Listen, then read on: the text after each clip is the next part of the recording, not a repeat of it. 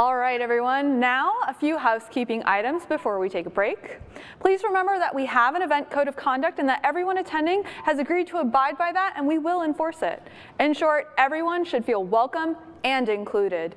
Please treat everyone with respect and professionalism and any concerns, please go to the registration desk and the event team will be there to assist you. That's right. And of course, there are lots of folks we really need to thank because without them, none of this would be possible. So get your applause hands ready. Let's have a big thank you to our incredible program committee who worked so hard helping us to select the amazing sessions for this event. Let's give them a round of applause.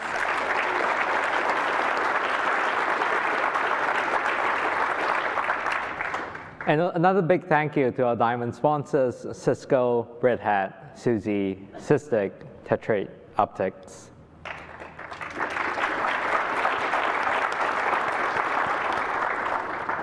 And also our platinum sponsors, Checkpoint, GitLab, OpenSearch, OpenSSF, Sonatype, and VMware.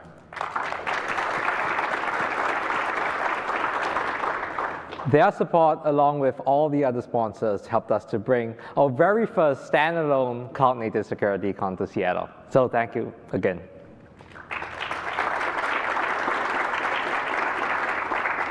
Yes, and please also don't forget to come mingle with our exhibitors tonight at the sponsor booth crawl in Hall 6CE.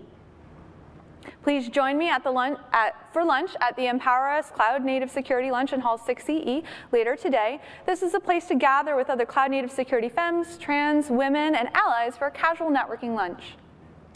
Breakout sessions begin today at 11 o'clock. Please do give feedback for all of the sessions that you attend. You'll find the link for giving feedback in sched.com. And then join us here tomorrow morning for another round of amazing keynotes. We hope you have a wonderful conference.